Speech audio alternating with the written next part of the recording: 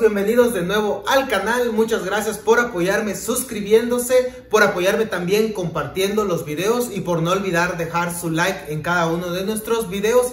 Si les gusta este tipo de recetas, pues háganmelo saber aquí abajito en los comentarios. Yo les respondo casi a todos o a todos. Me tardo, pero siempre les respondo. Este, anteriormente, en anteriores videos que hemos subido al canal, les hemos mostrado las partes de figuras que salen del pan dulce. Hemos hecho, creo, tres partes de masa dulce y diferentes panes que salen de la misma masa. En esta ocasión nos vamos a ir, nos vamos a enfocar en lo que es la masa salada. Esta es la parte 1. Vamos a hacer masa salada y sus diferentes panes que nos salen pues de la misma masa que vamos a hacer. Así que no se despeguen del canal amigos. Vamos a irnos con esta riquísima receta. Apóyenme compartiendo el video, no se olviden. Vámonos. Bueno amigos, comenzamos con esta receta, una receta muy sencilla, con muy pocos ingredientes para que ustedes los hagan en casa. Vean, aquí tengo un kilo de harina de fuerza, recuerden yo le digo harina de fuerza, aquella harina que tiene más cantidad de proteína, este,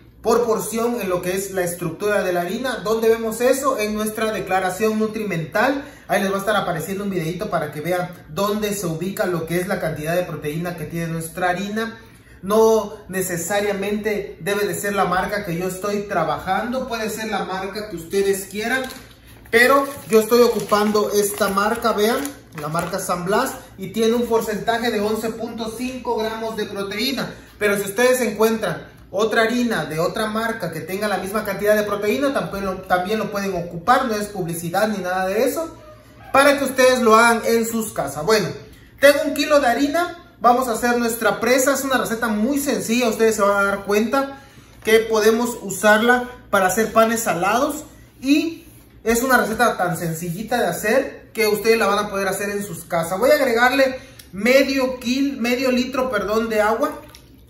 Recuerden, el agua siempre lo vamos a agregar poco a poco, no de golpe.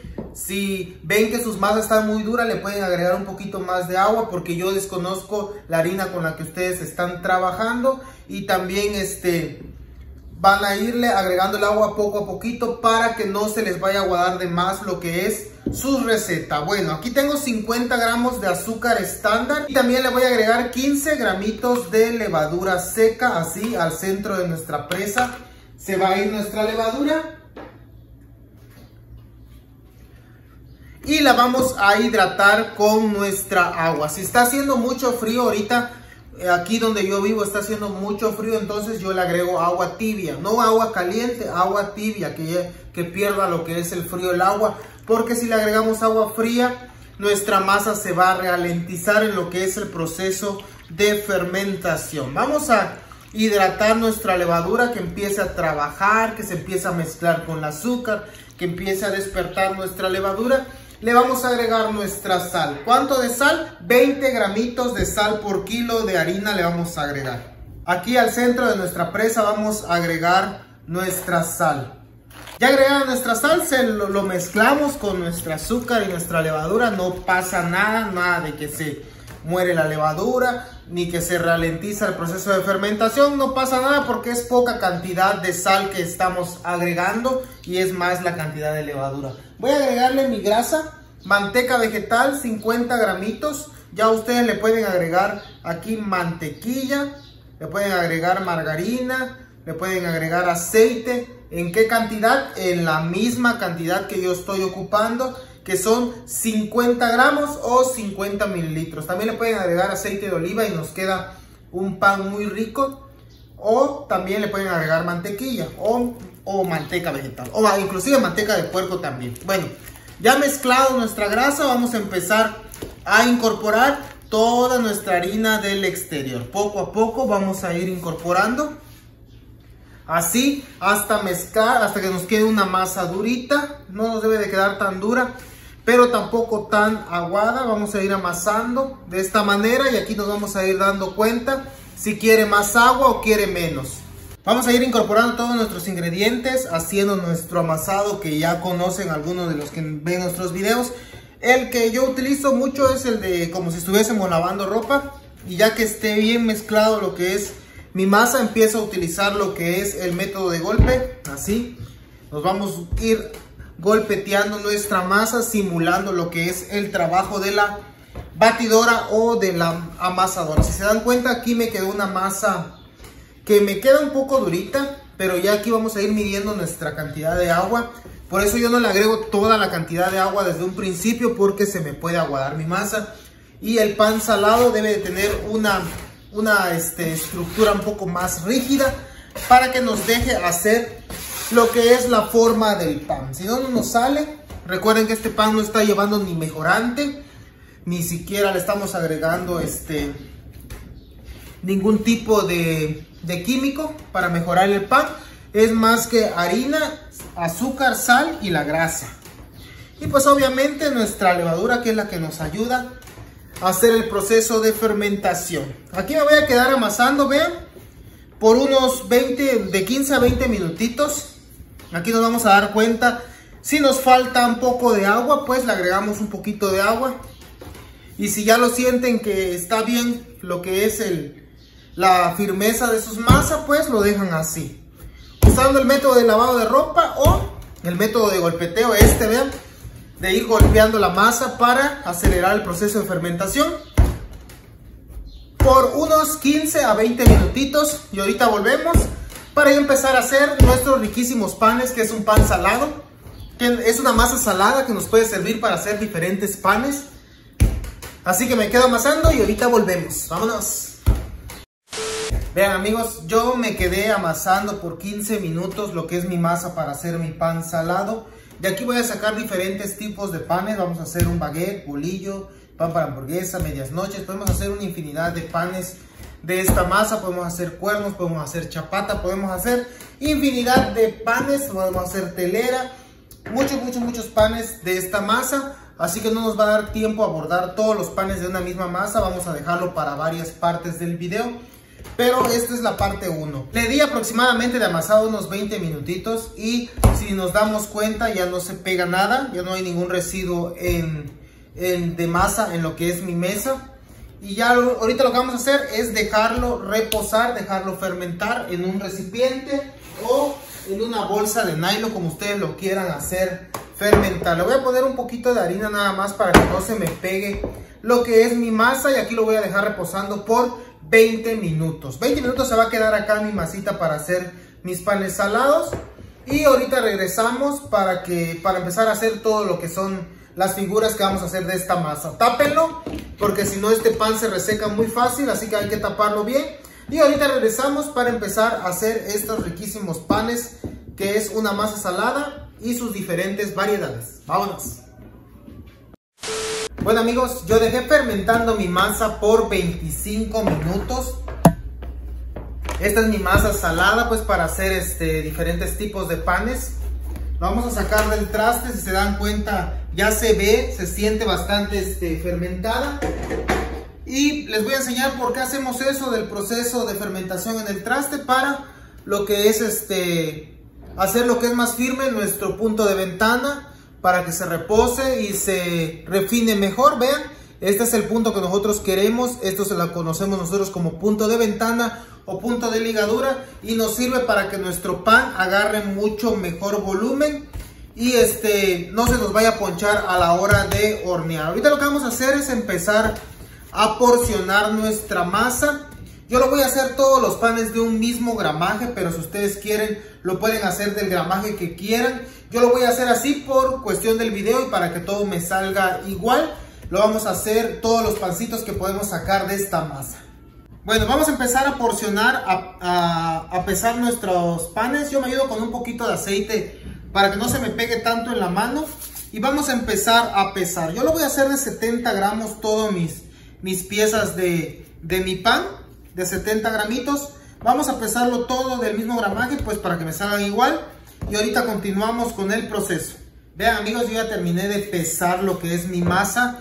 La hice toda mi masa de 70 gramos y ahorita lo que vamos a hacer es empezar a bolear. Vamos a bolear toda nuestra masa y la vamos a ir acomodando en nuestra mesa para que fermente, para que repose otro rato. Este, aproximadamente por un tiempo de unos 10 minutitos lo vamos a dejar reposando, pero primero vamos a bolear este, toda nuestra masa. ¿Por qué no lo hacemos de inmediato? Porque si se dan cuenta estamos apretando de nuevo la masa, entonces nuestras figuras no se alcanzan a hacer de la manera más sencilla porque este, lo estamos apretando nuestra masa. Vean amigos, ya terminé de bolear toda mi masa y ahorita lo que vamos a hacer es dejarla reposar. La vamos, le voy a poner un poquito de aceite en la parte de arriba, vean, y la voy a tapar con un nylon o con una manta, como ustedes quieran taparlo.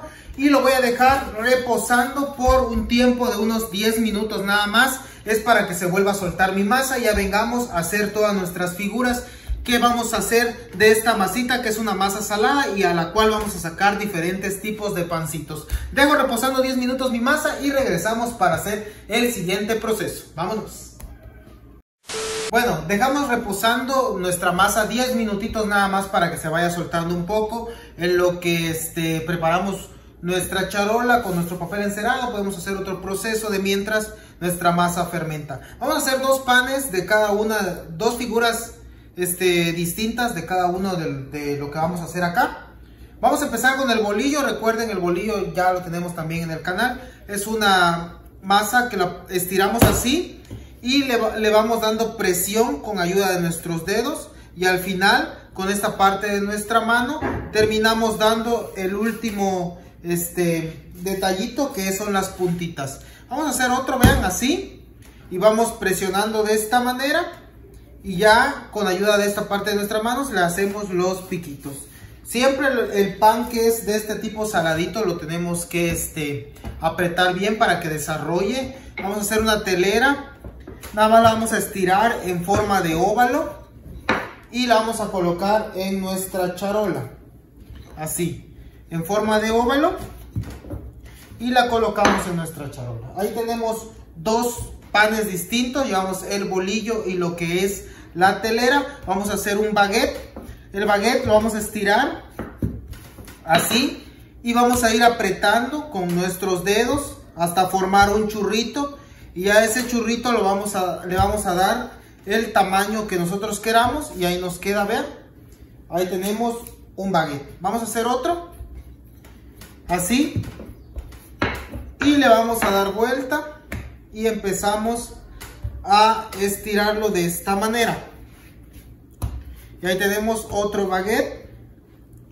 Otra figura que se usa mucho, el pan para hamburguesa.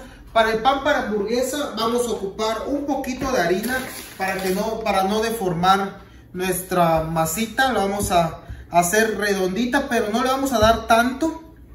Solo le vamos a, hacer, a dar poca, poco cuerpo hacia un lado y hacia el otro, así.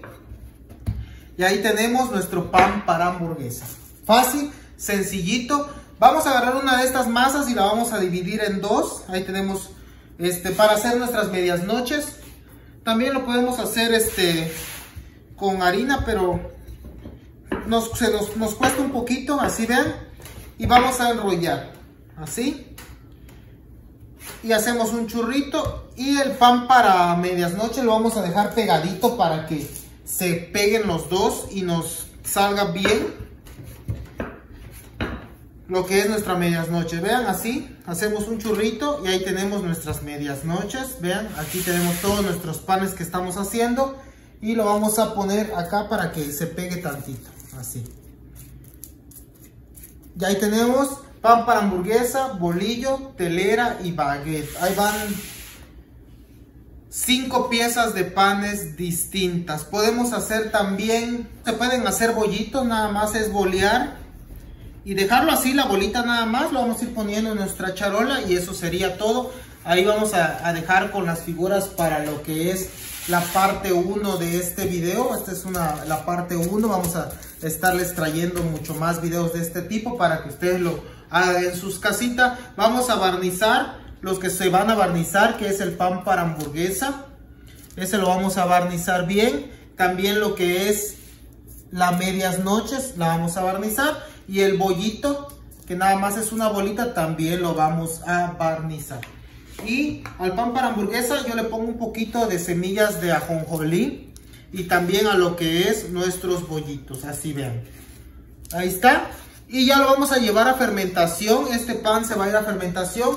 Lo vamos a llevar a un lugar encerradito para que no se nos reseque. Me voy a acercar para que ustedes lo vean bien. Vean, aquí tenemos todas nuestras este, variaciones de pan de una sola masa. Vamos a estar subiendo muchas más partes para traerle muchas más figuras. Aquí tenemos nuestro bollito, pan para hamburguesa, un baguette, un bolillo y una telera normal, simple. También medias noches hicimos, ahí está. Y ahorita van a ver cómo quedan estos panes ya que desarrollen dentro este, de, la fermentadora o de nuestro horno, como queramos hacerlos fermentar. Voy a hacer fermentar mis panes por un tiempo de 45 minutos hasta una hora, depende cómo lo vayan a hacer fermentar. Puede que una fermentadora casera este, fermente mucho más este, mucho más rápido, pero como yo lo voy a hacer fermentar de manera natural, me va a llevar hasta una hora. Ya sabes, si son nuevos aquí en el canal, apóyenme compartiendo los videos y dejando su like. Recuerden que si les gusta este tipo de recetas, pues háganmelo saber en los comentarios. Voy a llevar a fermentar mi pan por una hora y regresamos para mostrarles el siguiente proceso. Vámonos.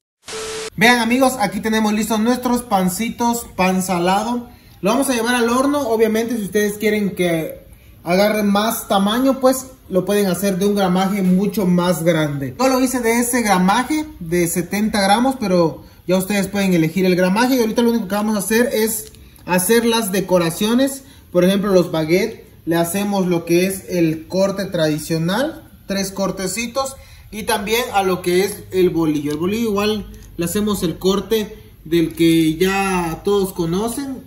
Con estas navajitas que son para afeitar, con eso lo hacemos el corte. Y ya lo demás lo vamos a dejar así. Ahorita lo que vamos a hacer es llevarlo al horno. Si ustedes gustan pueden rociarlos tantito con un rociador de agua para que agarren un poco de corteza. Y si no, los pueden hornear así tal cual están. Ahorita lo vamos a llevar al horno y continuamos con el procedimiento.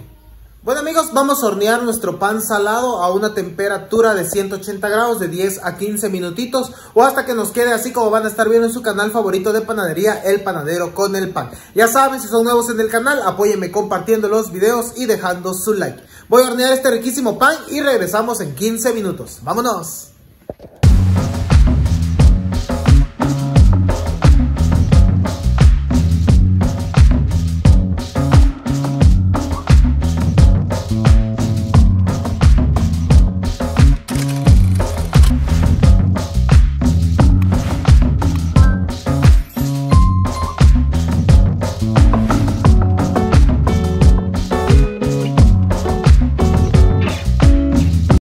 Vean amigos, aquí tenemos lista toda nuestra variedad de pan salado que hicimos el día de hoy. Este pan es de una sola masa, por si ustedes quieren hacer este, diferentes tipos de panes de una sola masa para que vean que sí se puede y se obtiene un excelente resultado. Vean, este es el bolillito, un bolillito sajado que abre bastante a pesar de que es hecho en horno de gaveta y que también no le agregamos ningún tipo de vapor, así como lo hicimos, así lo horneamos. Un baguette, vean nada más qué bonito quedan los baguettes es un baguetcito, baguette de sal, muy rico, que nos queda con un poco de corteza, no, no le generamos tanta corteza porque como les repito, no se humedeció lo que es el pan. Si no le hubiéramos este, sacado un poquito más de corteza.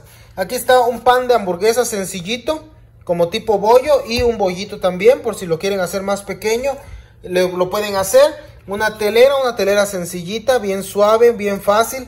Y lo que es una medias noches, que la podemos hacer un poquito más grande para que nos ocupe lo que es la una salchicha un poquito más grandecita, pero ahí está para que ustedes lo intenten hacer en sus casas. Recuerden que si quieren que el pan les salga un poquito más grande, pues pueden este, incrementar lo que es el gramaje. Voy a abrir una telera para que vean lo que es el interior y cómo nos queda lo que es la miga. Ahí está, vean, vean nada más cómo nos queda lo que es la miga. Ya abrí lo que es una telera, es una telerita. Y la miga nos queda bien porosita, bien suavecita, se alcanza a apreciar bien ahí. Es una telera de sal, muy rica, muy fácil de hacer, para que lo intenten ustedes hacer en sus casas. Si les gusta este tipo de videos, pues háganmelo saber en los comentarios para que le traigamos la parte 2 o hasta parte 3 de la masa salada y diferentes tipos de pancitos. Este, intenten hacer en sus casas, amigos. Nos vemos, espero les haya gustado el video. Nos vemos en el próximo. Bueno amigos, hemos llegado al final de este bonito video, ya saben, si son nuevos aquí en el canal, apóyenme compartiendo el video y dejando su like. Recuerden, en la descripción del video les dejo mi página de Facebook, otra red social que tenemos por ahí y también la receta de esta masa que nos va a servir para hacer diferentes tipos de panes salados. Pues bueno gente, no se olviden, este es el canal del panadero con el pan, nos vemos en el próximo video, Bye.